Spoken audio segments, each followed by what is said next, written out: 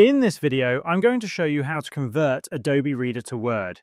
First, open the document in Adobe Reader that you want to save as a Word file. The first method to do this is by clicking on the menu at the top left corner of your screen.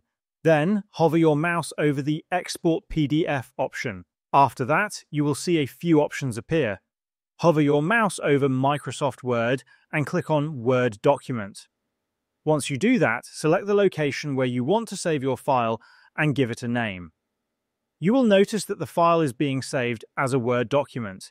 If you want the Word file to open automatically after saving, make sure the View Result box is checked and then click on Save.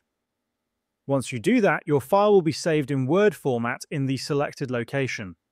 Another way to convert a file to Word is to click on the menu at the top left corner of your screen again. Then select Save As. After that, choose the location on your computer where you want to save the file and give it a name. Next, click on the Format drop-down menu. You will see several formats listed. From here, select Word document and click on Save. The file will be saved as a Word document in the location you selected, and this is how you can convert a file from Adobe Acrobat to Word format.